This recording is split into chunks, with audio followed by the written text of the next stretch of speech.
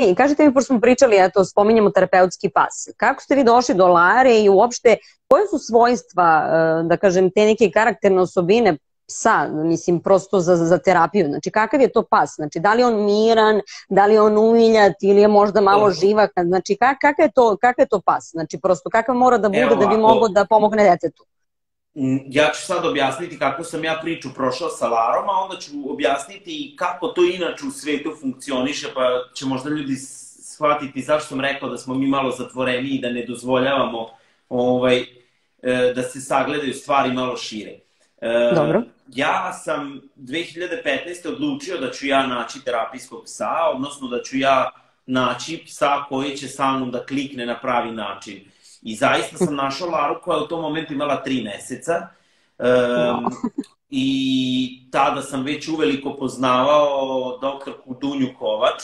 Dunja Kovač uh -huh. je naša bliska koleginica, uh, koja je inače jedini behaviorista u Srbiji. Znači, ona se jedina bavi uh, problematikom ponašanja pre svega pasa, ali generalno životinja često dođemo mm -hmm. na tu temu, pa onda ona kaže, ma ja sam tamo sa lavovima i sa tigrovima dok sam bila na studijama u inostranstvu, naravno, neko od nas, ovaj, mm -hmm. pa je radila i sa njima. U svakom slučaju, ono što hoću da kažem, Dunja je odradila tu neku prvu procenu Lare, gde je meni dala smernicu kako bi trebala da izgleda sama socijalizacija i šta bi, na šta bi ja trebao da obratim pažnju. Mm -hmm. I to je tako krenulo, naravno, mi smo se ove, s vremena na vreme viđali sa Larom, da mi ona da save da li nešto treba da menjam, da li ne treba. I negde sa 13 ili 14 meseci je Lara prošla drugu procenu. E, umeđu vremenu smo mi morali, e, to jest ne morali, nego smo prosto sam ja želeo da, da, da nadograđujem negde svoje znanje i, i sam rad sa psima, pa smo išli u Slovačku, pa smo jedno vreme išli u Italiju i Hrvatsku, gde smo prosto radili na tome da Lara postane što bolji terapijski pas. E, uh -huh.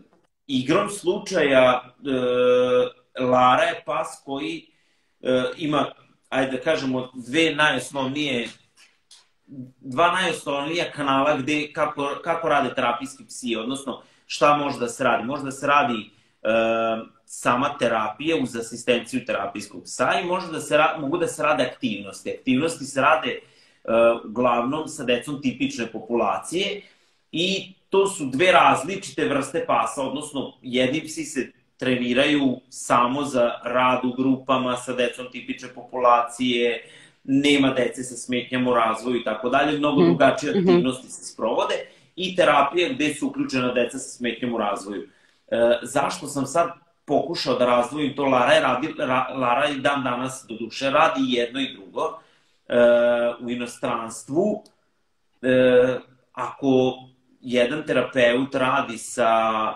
decom koja su iz spektra autizma, e, on može da ima psa koji će raditi samo sa decom iz spektra autizma i koji se samo za to trenira.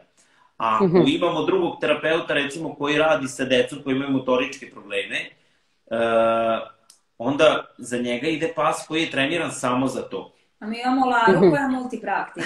Lara je multipraktik i Lara je, ne, je pas koji je radio i aktivnosti u vrtićima sa, uh, u grupama sa decom koje su tipične populacije uh, i dan danas radi terapiju sa decom koji imaju smetnju u razvoju. I ne pita se niko koje su to smetnje iz prostog razloga što je Lara na neki način trenirana tako da radi sa svima. Uh, da li je to no, dobro ili ne, ja mogu da potpišem da nije dobro jer prosto i pas je živo biće i pas ima predispozicije za jedno ili za drugo. Uh, I sad da se vrati samo na to, da li pas treba da bude poseban, mora da bude poseban da bi bio terapijski. Uh, nažalost, jednim, ajde da kažem,